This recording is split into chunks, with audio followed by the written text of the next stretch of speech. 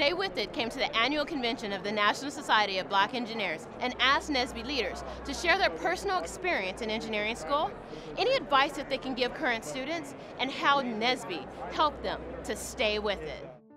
The National Society of Black Engineers is definitely a support group. Among anything, our focus is academics. So when you're really going through those engineering courses that are difficult, you have that support group to go to. You have people who understand the courses you're taking, understand what you're doing, understand any difficulty you can have, and you can go to them in confidence.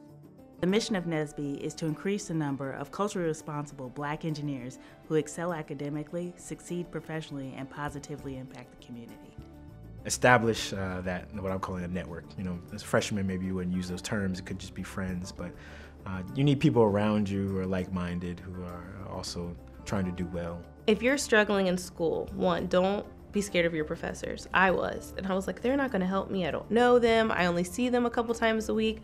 Don't be scared. They will help you. What I always did if I was shy, I just talked to one of the people I knew in my room, and I said, "Hey, man, there's this meeting." Um, there's free pizza. And he said, let's go. Uh, so I didn't have to go by myself. Make a goal poster. Uh, I my goal poster in college was all the requirements to graduate, and every day I would just every semester I would go there. Up, oh, we're taking calculus this semester. We can cross it off, and I would write the grade next to it. Softening those communication skills so that people understand and can appreciate what you're saying and aren't distracted by how you're saying it. If you hand somebody something with 18 equations on it, you know, that might nece- not necessarily get across your point like, say, a picture would.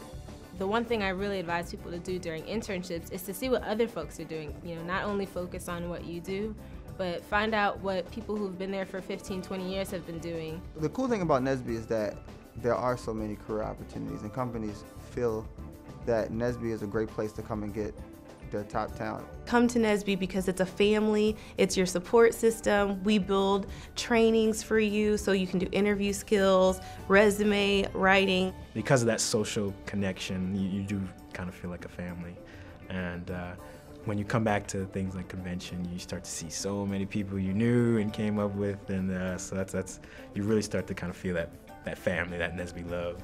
NSBE's taught me how to how to work with people a lot better you know, as an engineer, you're so it's all numbers. I, I sat in a in a meeting with a company negotiating a proposal for a multi-million dollar grant to NSBE as a 25 year old kid. NSBE has helped me by do by giving me exposure to different workshops, telling me how to get funding for school, how to even write my application. Many NSBE mentors have read over my personal statement. The NSBE Career Center has been a great resource for employers to pull my resume and to provide me with access to different jobs that I probably wouldn't have had.